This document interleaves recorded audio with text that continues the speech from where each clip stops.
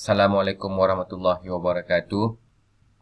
Dalam video kali ini saya akan menunjukkan bagaimana caranya untuk membuka akaun online bersama Kenanga Investment Bank ataupun produk trading platform online-nya ialah CanTrade. Okey, ha, jadi dengan membuka akaun online ini anda boleh mendapat uh, paparan seperti ini. Anda akan dapat melihat trading platform uh, bagaimana harga bergerak pada waktu trading hours dan trading days. Maknanya anda akan dapat live feed.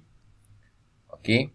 Uh, jadi langkahnya anda boleh tekan open an account di sini. Okey. Uh, langkah seterusnya anda boleh tekan register for online account. Okey. Ha, jadi di sini ada terms and condition. Ha, jadi anda sebagai pelabur yang tiada akaun bersama Kenanga Investment Bank, anda bolehlah tekan I am not a client but interested to be one. Jadi akaun ini hanya bertahan, akaun trial ini hanya bertahan selama 90 hari sahaja. Ha, jika ha, dalam tempoh 90 hari itu anda tidak membuka akaun uh, secara uh, sebenar, uh, iaitu akaun CDX dan trading bersama Kenanga, jadi akaun yang anda buka buka uh, apa namanya trial ini uh, akan dibatalkanlah. Okey. Kemudian tekan register. Uh, jadi di dalam paparan personal information ini anda hendaklah uh, mengisi uh, di tempat yang kosong inilah seperti apa yang ditulis di sini. Uh, jadi nombor satu adalah name eh. Nama seperti dalam kad pengenalan. Okey, uh, tulis uh, samalah seperti dalam uh, IC anda. Uh, ini adalah salutation. Okey. Pilih. Jadi masukkan nationality Malaysia. Masukkan nombor IC. Okey. Uh, kemudian masukkan gender. Uh, jadi kalau ada IC lama pun hendaklah dimasukkan. Etnik. Uh, kena masukkan. Kemudian tarikh lahir anda. Formatnya Ha, anda boleh pilih di sini. Formatnya mestilah tarikh, kemudian bulan, kemudian tahun. Jadi seterusnya email anda. Ha, yang ini penting eh. Yang ada tanda bintang kat sini, asterik ni adalah penting untuk anda isi. Memang wajib untuk isi. Alamat. Ha, negeri. Kemudian negara. Nombor telefon. Postcode. Dan nombor telefon rumah. Yang ini nombor telefon handphone lah mobile. Pekerjaan.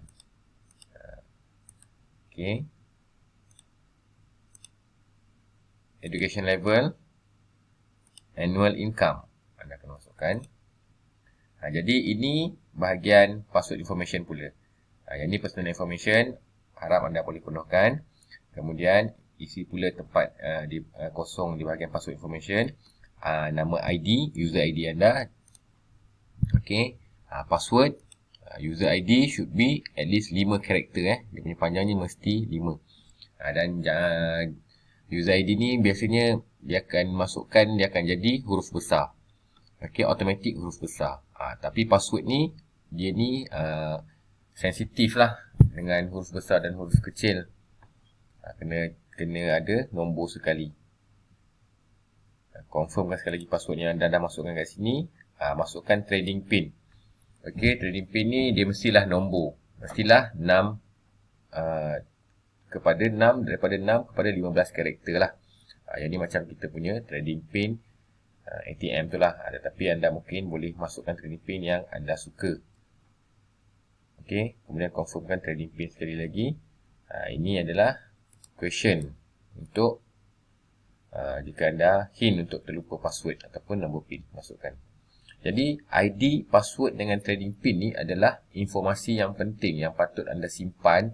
Dan kalau boleh jangan lupa ataupun uh, anda jangan hilangkanlah ID, password dengan trading pin ni. Kerana jika anda terlupa salah satu untuk reset dia anda perlu telefon uh, nombor hotline kerana ya, iaitu 1800 882274 untuk reset.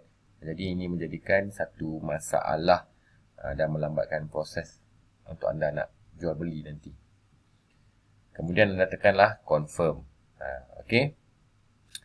Lepas tekan confirm tu, uh, apa namanya, uh, dia akan minta anda untuk download uh, software. Jadi anda kena download lah software itu. Itu adalah JavaScript untuk membolehkan anda mendapat price feed seperti ini. Okey. Uh, jadi selepas anda dah masukkan, uh, dah siap anda punya isi borang ini semua. Uh, jadi anda bolehlah valid untuk masukkan ID dan password anda. Okey, seperti saya buat ni. Saya masukkan saya punya ID. Dia akan jadi automatic huruf besar macam ni. Okey, masukkan password anda. Kemudian sign in.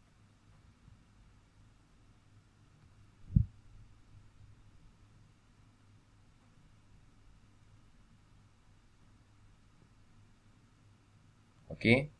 Ha, kelajuan untuk dia masuk log ini bergantung kepada kelajuan internet yang ha, anda pakai di mana anda membuka ha, platform ini. Jadi ini adalah platform yang sebenar maksud saya sebenar di sini harga ni bergerak pada waktu trading hours dan trading days dia bukan delay macam kita boleh dapat lihat ya macam hari ini 24 ha, Mac 2020 BC dengan volume tertinggi 126 juta duduk paling atas lah jadi ini harga terakhir daripada hari ini ok jadi setakat ini dahulu untuk video kali ini video bagaimana untuk anda membuka account online secara trial bersama kenangan investment bank ataupun Cantrade. Uh, anda boleh melihat paparan ini selama 90 hari lah.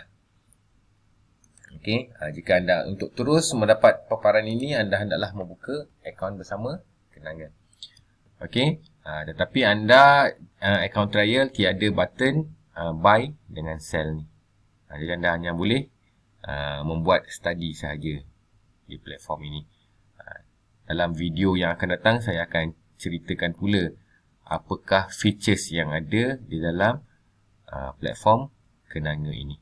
Okay, uh, kerana setiap broker dia punya features dia berbeza antara satu broker ke satu broker lain. Uh, macam kenanga, macam ni paparan dia.